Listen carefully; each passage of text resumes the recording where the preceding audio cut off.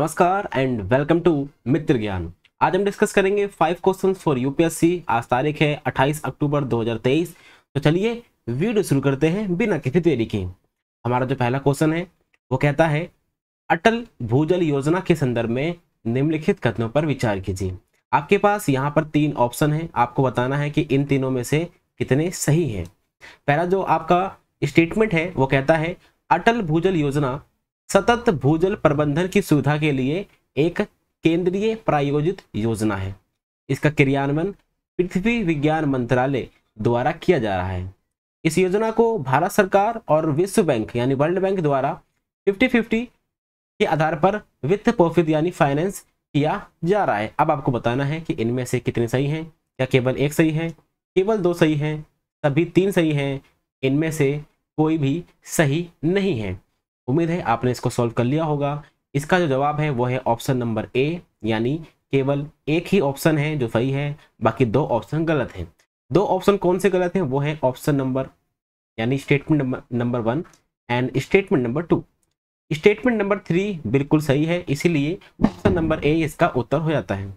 अब बात कर लेते हैं कि अटल भूजल योजना क्या है। देखिए, जो हमारा ग्राउंड वाटर है, उसका पानी बहुत ही तेज़ी से कम हो रहा है। तो उसको अच्छे से मैनेज करने के लिए हमने अटल भूजल योजना को बनाया है, ठीक है? यह एक सतत भूजल प्रबंधन की सुविधा के लिए बनाया गया है। अब यहाँ पे लिखा हुआ है, एक केंद्रीय प्रायोजित योजना है, ठीक है? एक केंद्रीय प्रायोजित योजना है। ये जो लिखा हुआ है ना, ये बिल्कुल गलत लिखा हुआ है। देखिए, आपको पता होना चाहिए कि केंद्रीय प्रायोजित योजना क्या होती है। इसको हम इंग्लिश में सेंट्रली स्पॉन्सर्ड स्कीम कहते हैं। जो सेंट्रली स्पॉन्सर्ड स्कीम होती है, उसमें क्या होता है कि हमने सेंटर के लिए और स्टेट के लिए ये बता रखा होता है कि वो कितना कितना कंट्रीब्यूट करेंगे। लेकिन जो अटल भूजल योजना है, इसमें जो स्टेट का जो पार्टिसिपेशन है ना, वो ज़ीरो है। यानी स्टेट इसके अंदर बिल्कुल भी फाइनेंस नहीं करेंगी। जो भी फाइनेंस करना होगा, वो सेंटर करेगी। तो इसीलिए ये एक केंद्रीय केंद्रीय क्षेत्र योजना है, ना कि केंद्रीय प्रायोजित योजना। इसीलिए जो पहला ऑप्शन है, वो गलत हो जाता है। सेकंड में लिखा है कि इसका जो क्रियान्वयन है, वो पृथ्वी विज्ञान मंत्रालय द्वारा किया जा रहा है, जो कि गलत लिखा है। क्योंकि इसका क्रियान्वयन जल शक्ति मंत्रालय, यानी मिनिस्ट्री ऑफ़ जल शक्ति द्वारा किया जा रहा है। ठीक है? इसीलिए जो आपका सेकंड ऑप्शन है, वो भी बिल्कुल गलत हो जाता है।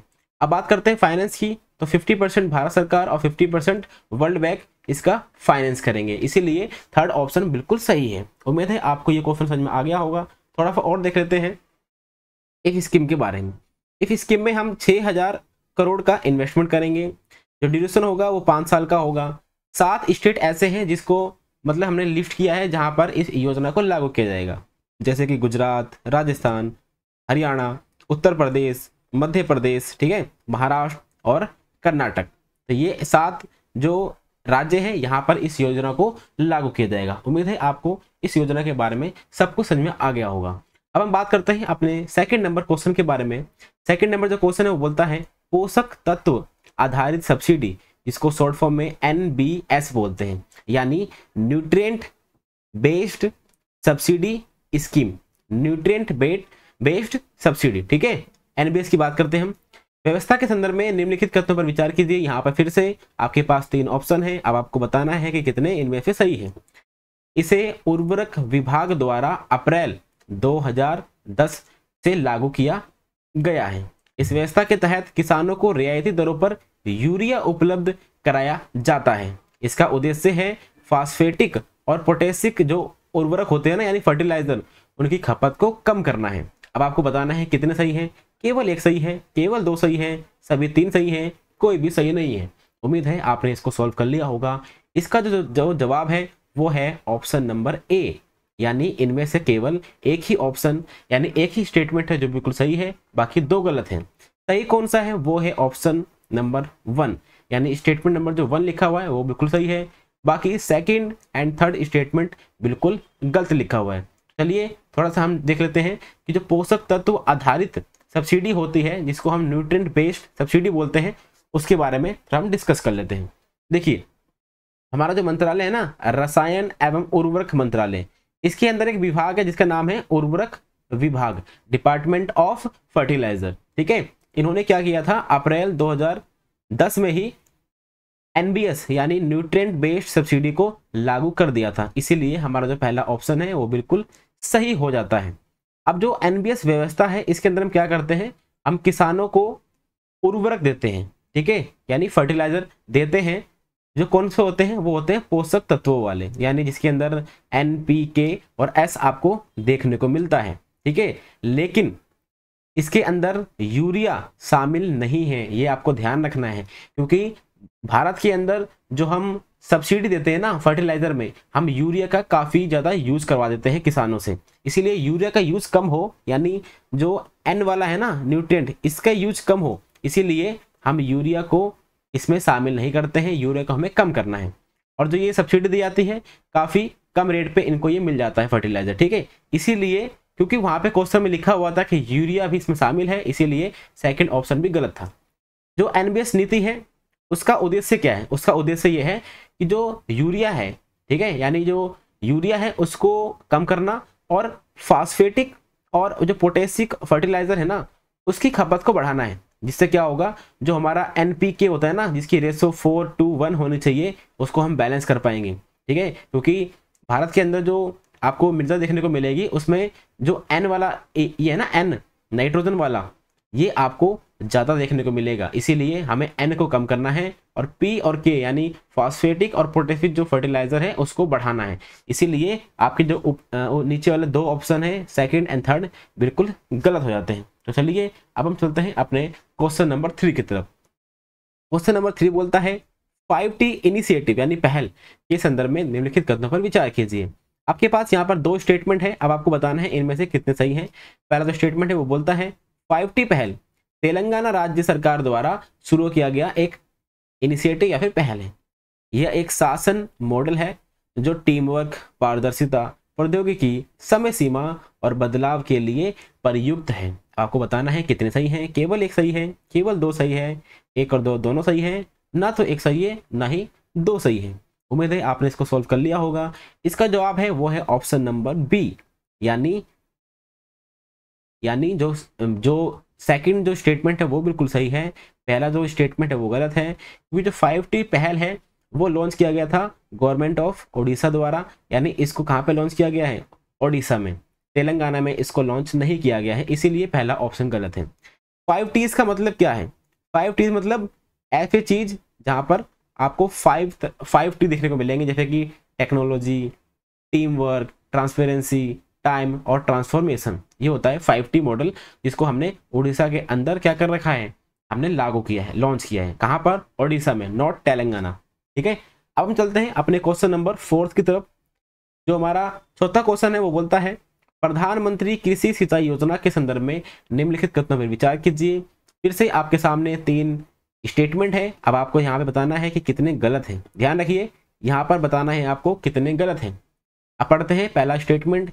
इस योजना का उद्देश्य खेती के लिए जल की पहुँच में वृद्धि करना, सुनिश्चित सिंचाई के तहत खेती योग्य क्षेत्र का विस्तार करना है।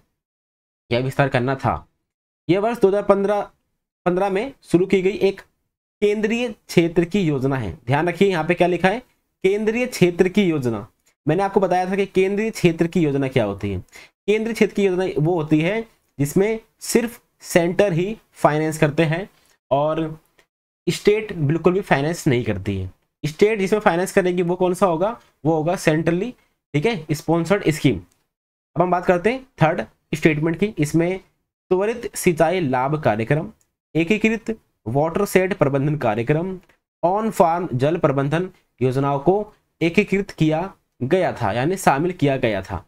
अब आपको बताना है कि इनमें से कितने सही हैं और कितने गलत हैं। लेकिन यहाँ पे क्या पूछा है? गलत कितने हैं?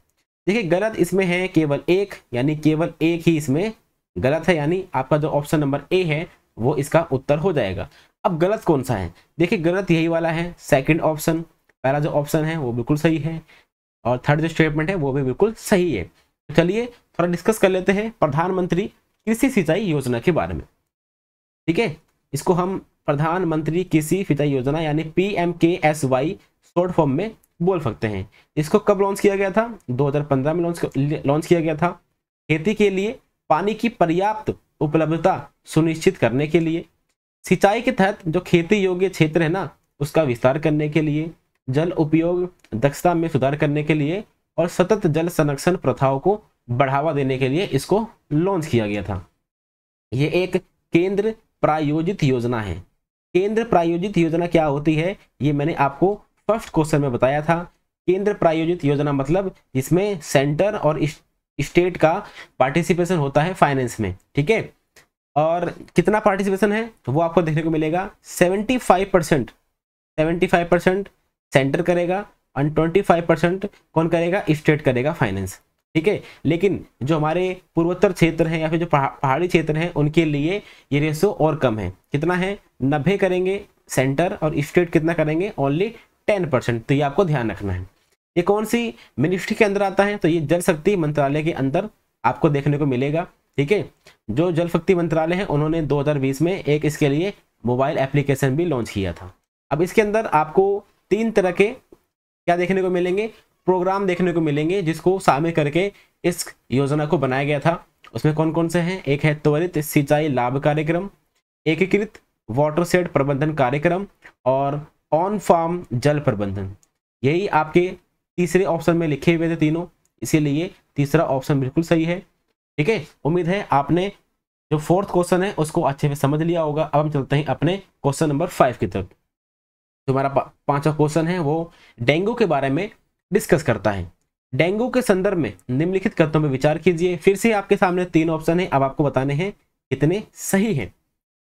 यह जीनस एनोफेल जीनस एनोफेल वर्ग के अंतर्गत आने वाली मादा मच्छर की विभिन्न प्रजाति द्वारा प्रसारित होता है, जो चिकनगुनिया और जीका संक्रमण भी फैलाता है। डेंगू को नियंत्रित करने के लिए वोल्बा चिया विधि, ठीक है, कौन सी विधि? वोल्बा चिया विधि का सफलतापूर्वक उपयोग किया जा चुका है या किया जा सकता है।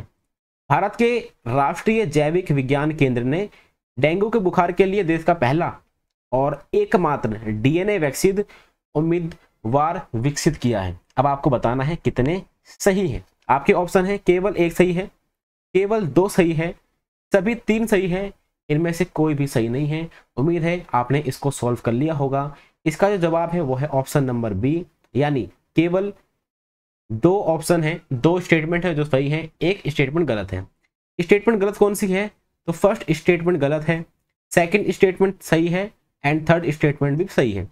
और अब हम डेंगू के बारे में देख लेते हैं।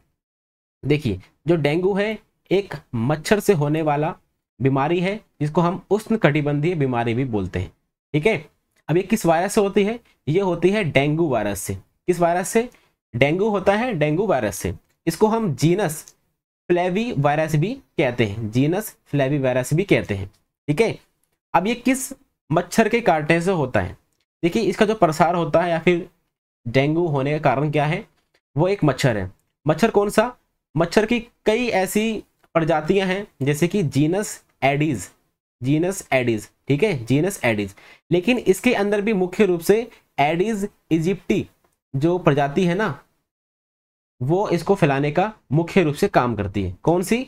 एडीज इजिप्टी ये किसके अंतर्गत आती है? ये आती है जीनस एडीज के अंतर्गत, ठीक है? अब जो ये मच्छर है ना, ये चिकनगुनिया को भी फैलाता है और जीका संक्रमण को भी फैलाता है। तो एक ही मच्छर है जो डेंगू को, चिकनगुनिया को और जीका संक्रमण को फैलाता है। ये आपको ध्यान रखना है। अगर हम वैक्सीन की बात करते हैं तो 2019 में यूएसए के अंदर जो फ़ूड एंड ड्रग एडमिनिस्ट्रेशन है, उन्होंने डेंग वैक्सिया ये आपको नाम ध्यान रखना पड़ेगा डेंग वैक्सिया इसको हम C Y D T D V भी बोलते हैं, ठीक है, ये ध्यान रखना है, या फिर आप डेंग वैक्सिया नाम ध्यान रख सकते हैं। इसको मंजूरी दी गई थी, जो मतलब पहली बार ऐसा हुआ था। डेंग वैक्सिया के अंदर हम क्या करते हैं, एक जीवित लेकिन दुर्बल डेंगू वायरस का ही उपयोग करते हैं तो ये आपको ध्यान रखना होगा। अगर हम भारत की बात करते हैं तो भारत का जो National Centre for Biological Science है, ठीक है, उनके जो शोधकर्ता हैं, उन्होंने क्या किया कि कई और, जैसे कि अफ्रीका और अमेरिका के और अन्य जो संस्थान है ना, उनके साथ मिलकर भारत का पहला और एकमात्र डीएनए वैक्सीन को विकसित किया है। किसने? भारत ने भारत का पहला और एकमात्र डीएनए वैक्सीन को विकसित किया है तो ये आपको ध्यान रखना है डीएनए वैक्सीन को विकसित विकसित किया है। बात करते हैं विश्व मच्छर कार्यक्रम की। देखिए, जो विश्व मच्छर कार्यक्रम है, इनके जो शोधकर्ता है ना, उन्होंने क्या किया है? वोल बाचिया बैक्टीरिया का यूज़ करके डेंगू के, डेंगू की जो घटनाएँ है ना, उसको काफ़ी कम करने में सहायता करी है। तो ये आपको ध्यान रखना है, जो वोल बाची या बैक्टीरिया है ना, वो क्या करता है? डेंगू के प्रभावों को कम करता है। तो इस प्रकार से आपने आज पाँच क्वेश्चन सोल्व कर लिए। उम्मीद है आपको आज कुछ ना कुछ अच्छा जानने को ज़रूर मिला होगा। अगर आपको इस प्रकार से डेली वीडियो हमारी चाहिए तो आप हमारे चैनल को सब्सक्राइब कर सकते हैं एंड आप लाइक कर दीजिए शेयर कर दीजिए। Thank you thank you thank you very much for discussion